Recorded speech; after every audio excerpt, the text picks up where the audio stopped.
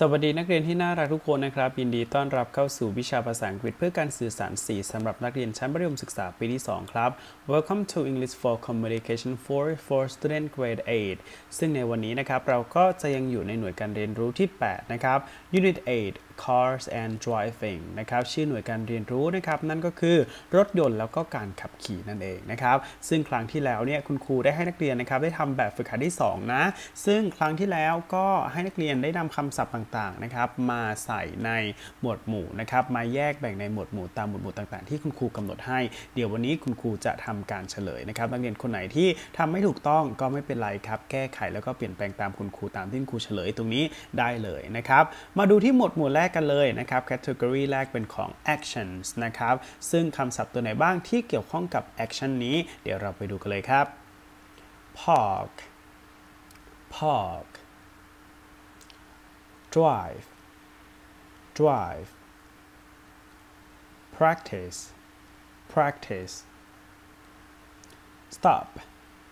stop control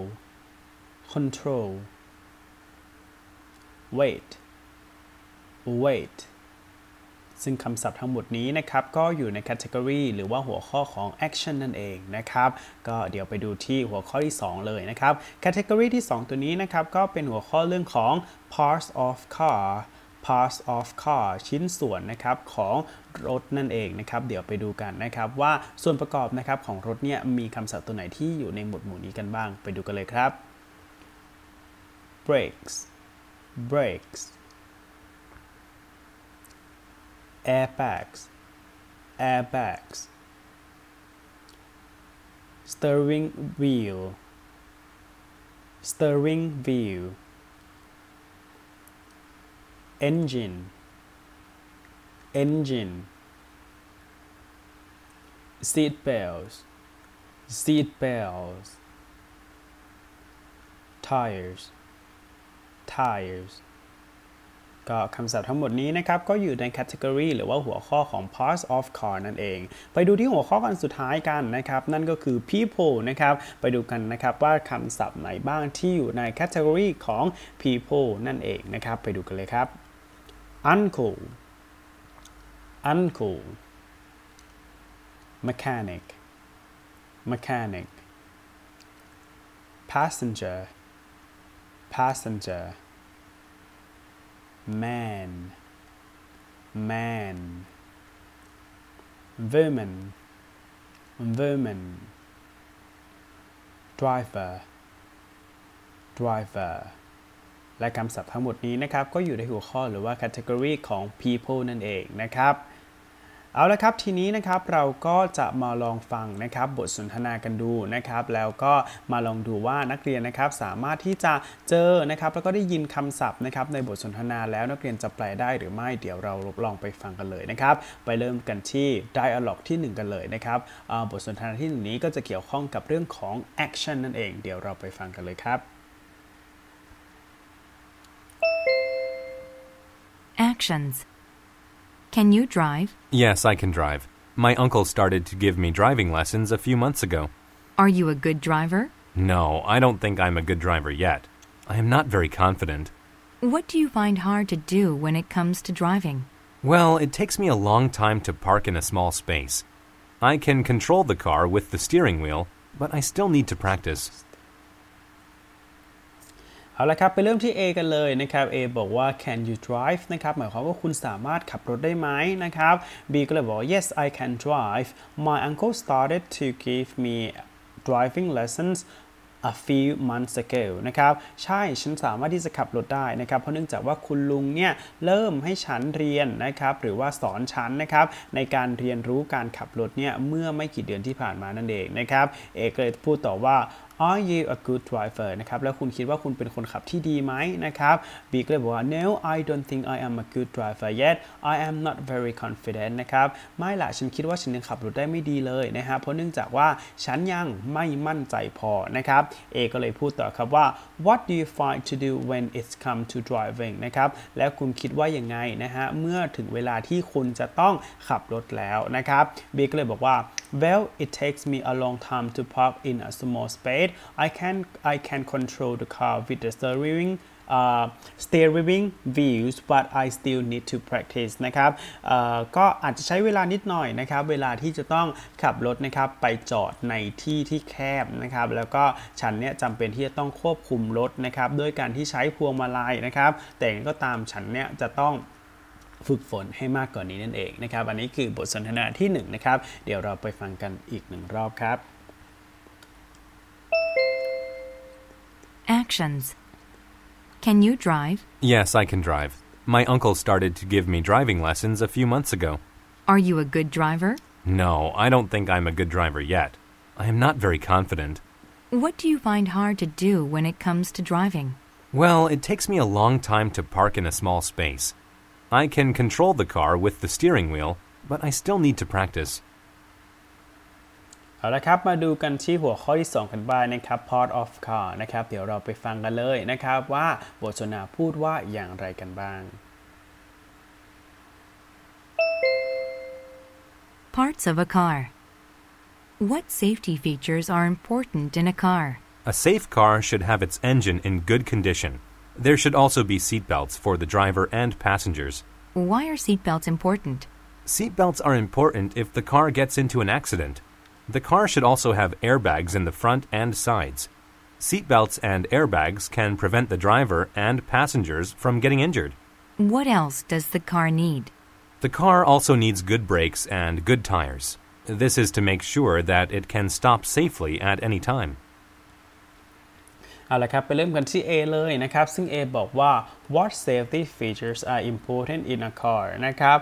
ระบบความปลอดภัยนะครับอะไรที่สำคัญในรถนะครับ แล้ว B ก็ตอบว่า a safety car should have its engine in good condition นะครับ ซึ่ง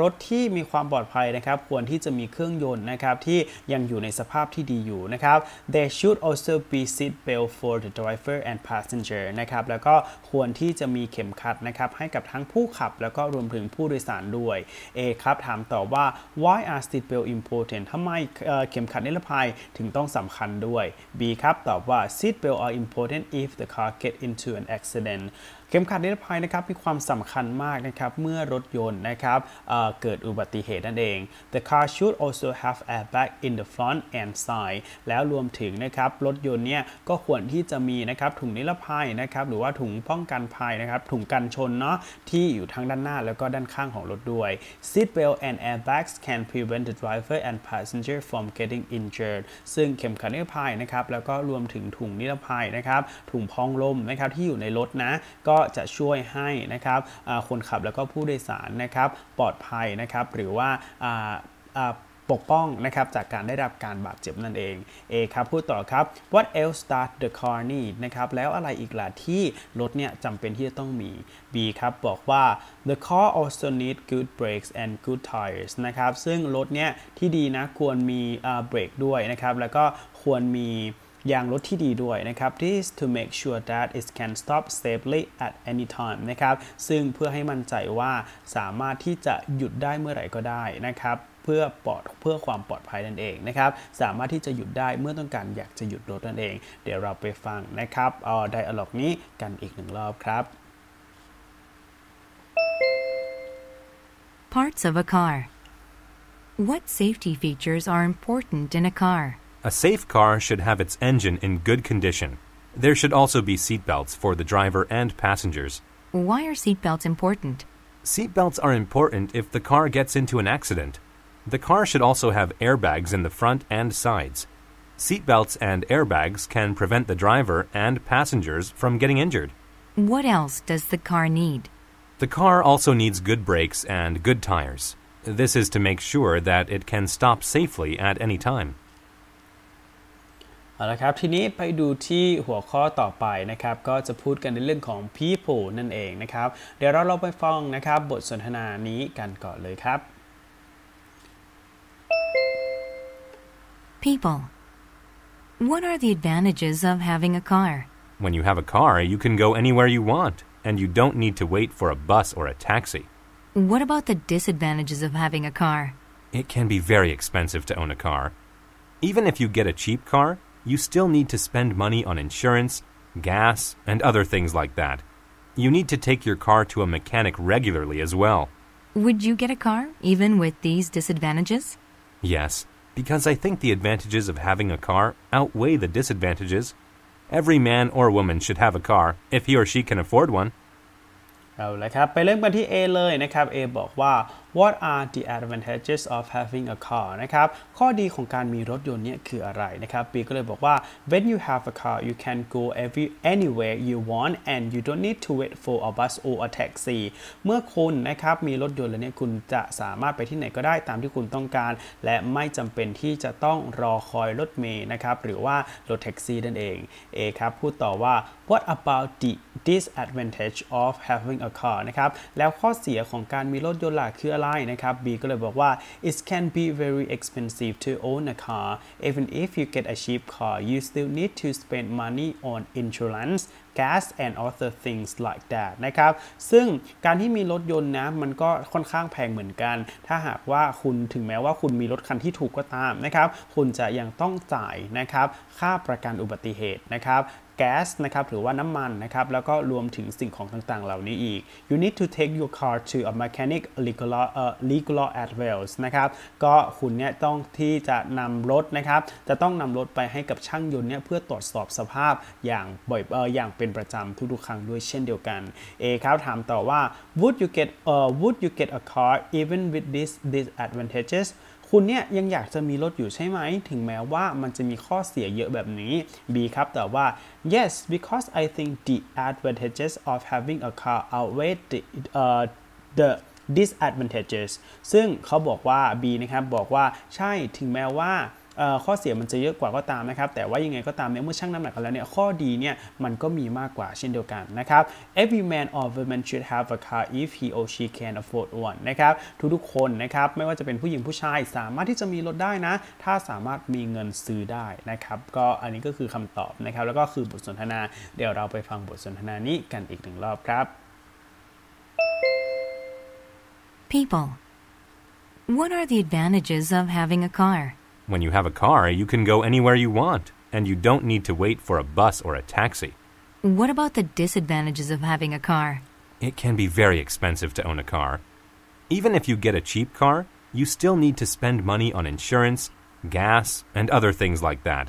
You need to take your car to a mechanic regularly as well. Would you get a car even with these disadvantages? Yes, because I think the advantages of having a car outweigh the disadvantages. Every man or woman should have a car if he or she can afford one. เอาละครับสำหรับวันนี้นะครับคุณครูก็ขอฝากโดยการเรียนรู้ที่ 8 ไว้เพียงเท่านี้นะครับหากมีข้อผิดพลาดประการใดคุณครูก็ต้องขออภัยไว้ด้วยนะครับสำหรับข้อมูลเพิ่มเติมนะครับหรือว่าข้อสงสัยเพิ่มเติมที่นักเรียนมีนะครับเราต้องการที่จะได้รับคำปรึกษานะครับก็สามารถติดต่อคุณครูได้ผ่านทางในกลุ่มไลน์ได้เลยนะครับสำหรับวันนี้คุณครูขอลาไปก่อน เจอกันอีกทีสัปดาห์หน้าสำหรับสัปดาห์นี้ลาไปก่อน สวัสดีครับ goodbye